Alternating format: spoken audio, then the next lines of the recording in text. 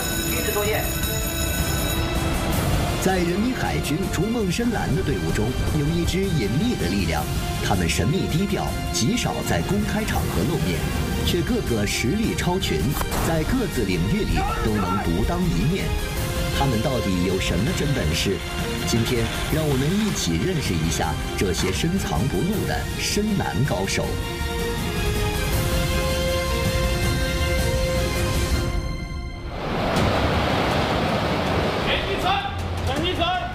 右舵四五，七十六，滑向三五度，方向三五度。这艘造型独特的舰船叫半潜船，两头高凸，中部低凹平坦，在海上看起来就像一辆平板车。这就是人民海军最新型711型半潜船“印马湖船”，舷号八三四。由于任务特殊，它极少出现在公众视野当中。半潜船也被称为半潜式母船，同样带有钳子，但它不能像潜艇一样完全潜入水中，只有中部甲板能够潜入水中，首部和尾部等部分依然外露在水面上。甲板上高大的柱子以及两端的水线标尺都显示了它能下潜的深度，最大能到六米多。下潜后，在烟波浩渺的海面上，这艘看起来只有首部和尾部的船，更像是两艘独立的舰船。中间这块甲板足足有三千多平方米，是一个超大的海上移动基地，宽敞平坦，既能下潜又能上浮。具备这些特点的舰船有什么作用呢？关键词：转运投送。投送什么？如何投送？让我们跟随印马湖船一起感受海上马车夫的转运训练。战斗警报，铁部部署，开始下潜进检查。开始下潜检查。近期水文气象观测情况分析，符合潜伏作业条件。明白，开始下潜。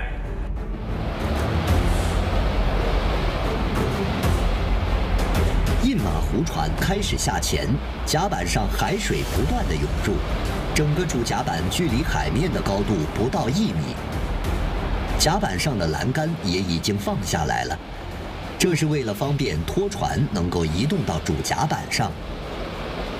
根据天气预报，今天会在几小时后出现一个海况较好的气象窗口。航行通告，航行通告，海军军舰正在进行军事作业，请来往船舶航经时保持五节以下航速，安全距离通过。半潜船开始逐渐下潜，中部甲板水深超过一米时，形成了一个天然的海上游泳池。然而，随着下潜深度越来越深，操作风险也越来越大，因为在高海况条件下，浪涌能量很强，半潜船不断受到海水的撞击，船体摆动幅度也会增加。在剧烈的涌浪面前，手部和甲板很容易出现倾斜甚至折腰等情况。因此，在船体注水过程中，船员们需要不断观察半潜船的姿态，并随时将其调整到最佳位置，确保半潜船平稳可靠，不发生倾覆。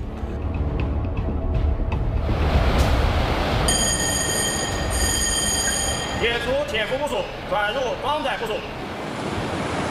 水柱上的吃水深度到达了四米左右的位置，印马湖船已经接近下潜完毕，转运拖船也已经接近就位。对于这种几百吨的小型舰船来说，印马湖船采用了一种浮装浮卸的方式，这是因为拖船本身具备浮力，浮在水面上，通过拖拽能够移动到甲板上方，但前船在上浮将拖船拖出水面。这种方式能够节省人力、物力和时间。战士们要将拖船转移到甲板上，这个过程看起来简单，但实际上不仅要时刻观察拖船的相对位置和浮态，也要考虑看不见的船体重心、稳心。这需要战士们和印马湖船一起协同操作，才能够达到人船合一、完美装载的结果。除了拖船这类不具备远洋能力又需要在远海作业的小型舰艇，一些超长、超重但无法分割调运的超大型装备设备，也是半潜船的转运对象。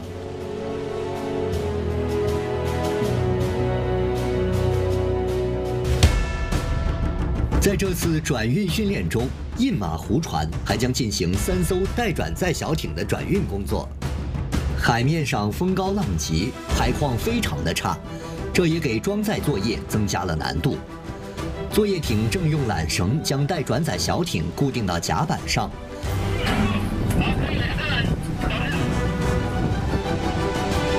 看似空空荡荡的宽大甲板，其实处处都是完成任务的重要保障。三根高大的柱子不仅显示深度，也是定位柱，能用来参照位置。它还是待转载小艇上船后的支撑柱。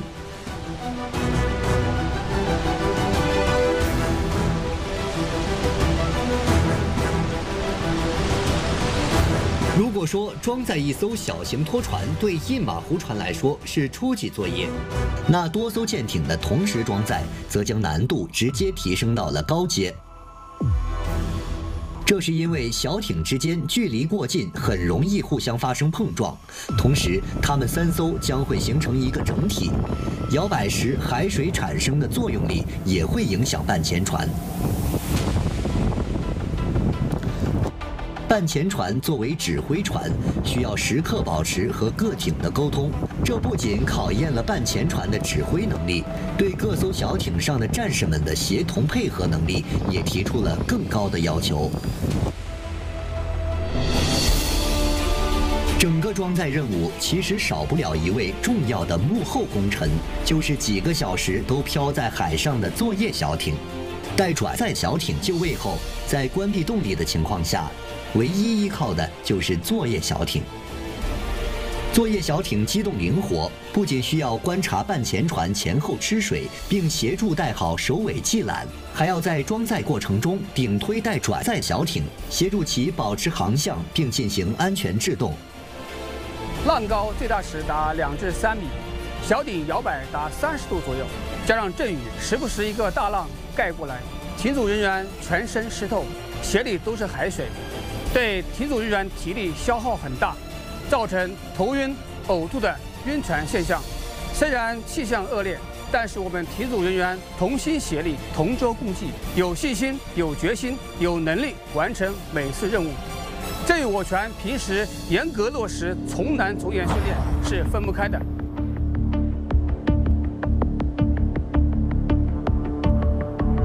随着使命任务的不断拓展。夜幕降临，印马湖船转移阵地，再次快速进入实战训练。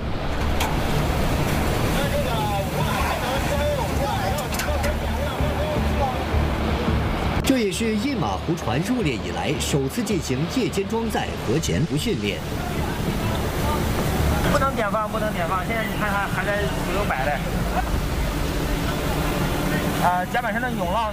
两前来的叠加浪可能会在其首部双倍叠加。啊，明白，船长，明白，船长。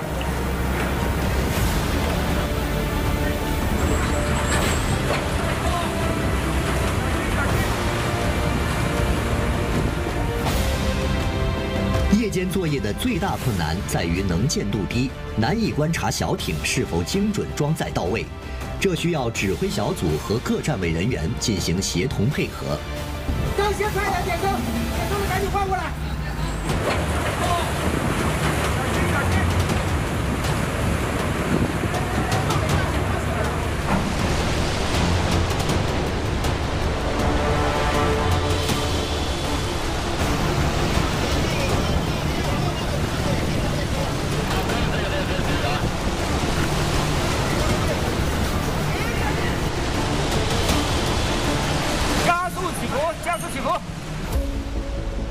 上浮结束后已至深夜，战士们还无法休息，他们马上开始了固定转运舰船的工作。这必须在半潜船再次航行前完成，以保证转运舰船在航行时的稳定。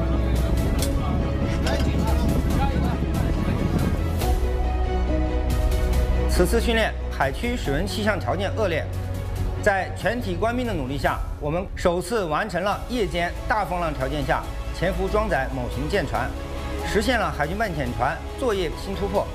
我们将进一步加强作战海域环境条件的研究和探索，不断突破实战化训练的限制条件，以提高自身能力，适应战场环境。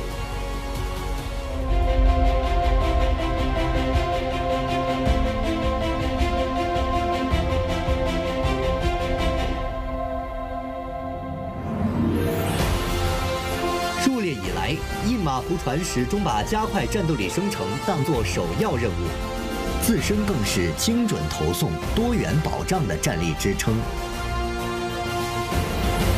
从边探索边训练到全时待战、随时能战，印马湖船不断提升实战能力，成为海军作战支援舰艇，融入联合作战体系的重要组成部分。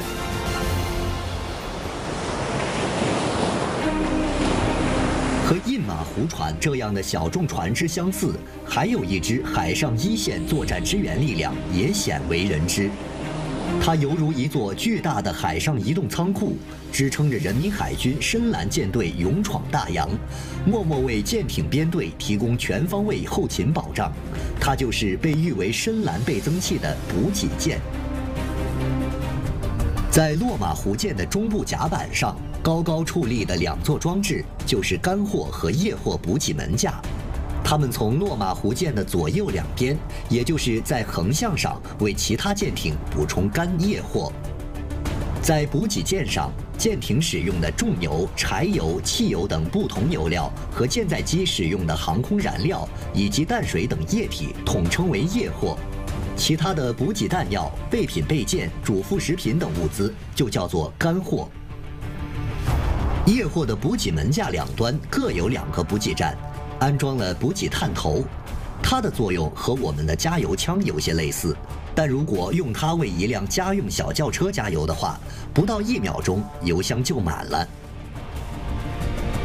干货补给门架上没有探头，但是有大滑索。它和货筐一起能够形成像缆车一样的系统，和被补给舰连接之后，能够来回传送物资。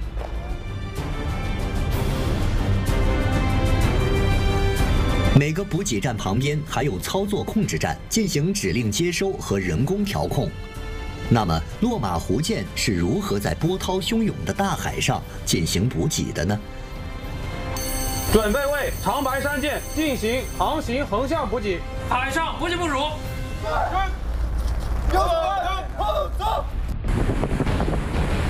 长白山舰是一艘零七幺型综合登陆舰，横向补给的正常补给距离是五十米到六十米，这非常考验两舰驾驶员们的驾驶技巧以及气象水文观测员的协同作业能力。两艘舰船的战士们必须时刻关注距离，把握好距离，才能够进行正确的补给。战士们已经做好了进行补给作业的准备。班长将使用气动抛投器向对面的长白山舰投掷线缆，这个也叫引缆。引缆的作用就是将承载索牵引到受捕舰上。划船引缆准备好，明白。划船引缆，划船引缆，加油加油！引缆可以加速升。明白，建立跨走横张力。是，建立跨总张力。放出加探头。是，放出加探头。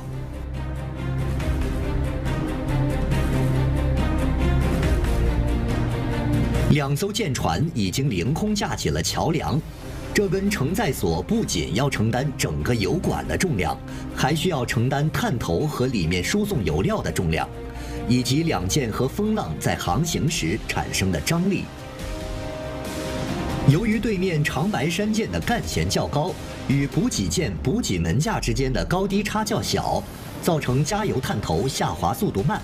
但是如果加快下滑速度，重达一百多千克的补给探头和输油管顺着钢索俯冲而下，可能会对双方补给探头造成损坏。因此要利用加油探头的惯性和重力的双重作用，做到直接对接成功，难度不小。和战机空中加油一样，海上航行补给也堪称最具危险性的舰船训练科目之一。在海况气象条件不好的情况下，战士们每一步操作都加大了难度。比如连接油管时，补给手需要目视操作，为了看清受捕探头，他们需要将身子向前一探再探，来研判观察对接的准确时机。三号明白，加油对接成功。有一次实施补给任务，海况非常差，海上暗流涌动，两艘舰艇本身要保持同向同速非常困难。那天我观察了很久，一直犹豫要不要建议指挥员解除补给部署。后来两艘舰艇航向航速比对完毕，意味着两艘舰艇已经相对静止，就算不用目视观测，受油口也一样对得准。我就果断操纵手柄，一次对接成功。身处关键岗位，补给操作员们的每一次精准操作，不仅关系到两舰补给的成功与否，还影响着舰船的航行安全。作为我国自行研制设计的综合补给舰，九零三型配备的补给接收装置采用了国际标准。自动化程度高，操作简便，补给速度快，保障效率高，支撑战士们一击必胜。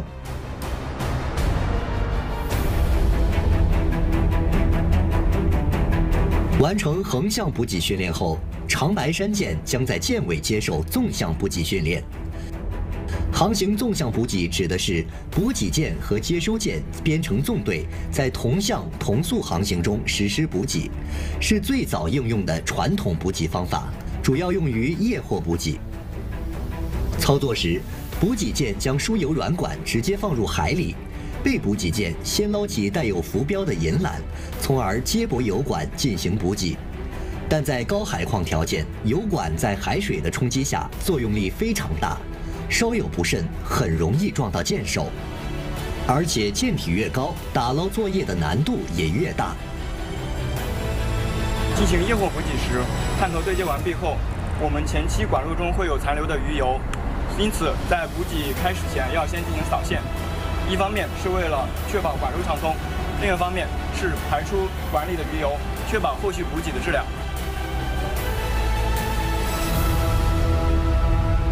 在整个补给作业过程当中，两舰的距离保持在两百米左右。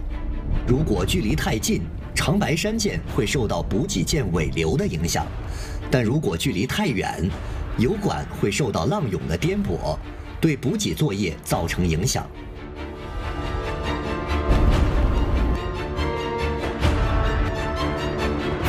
直到被补给舰上的舰员把油管抛入海中，两舰就完成了解脱。而补给舰上的舰员们将油管回收的同时，擦拭干净表面的海水，防止油管被腐蚀，整个纵向补给的补给作业就完成了。作战建制，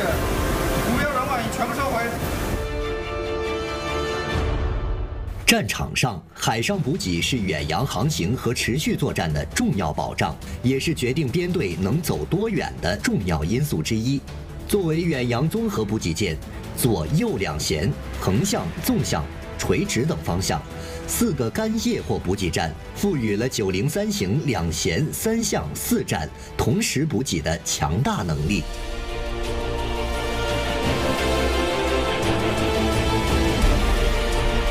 人民海军装备的快速更新换代，航速更快、补给效率更高的新一代综合补给舰相继登台亮相，成为远洋舰艇编队中的深蓝倍增器。补给舰虽多，能被称为航母超级奶妈的只有九零幺型综合补给舰，它是为远洋舰艇编队量身打造的综合补给舰。补给能力更强，自主研制能力达到世界先进水平。九零幺型大型综合补给舰查干湖舰，是伴随航母编队进行作战补给的专用快速补给舰，可装载弹药、食品以及多种油料数万吨，具备横向、纵向、垂直、并靠以及夜间补给能力，能让一支航母编队续航力提高近万海里，自给力大幅提升，可以说是我国多年补给舰研发、建造和使用的集大成者。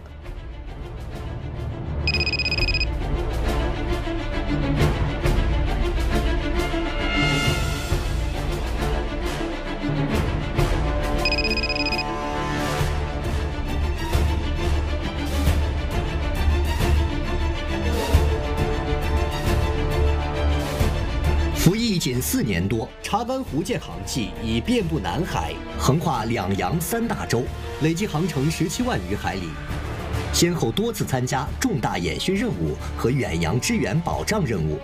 可以说，中国海军补给舰的油管延伸到哪里，人民海军的胜利就能延续到哪里。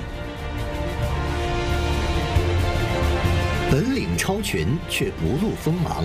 从基础保障到实战化训练，更多新型辅助舰船相继入列，不仅为舰队行动提供了可靠的基础支撑，也将助力人民海军深蓝舰队走得更远、更好。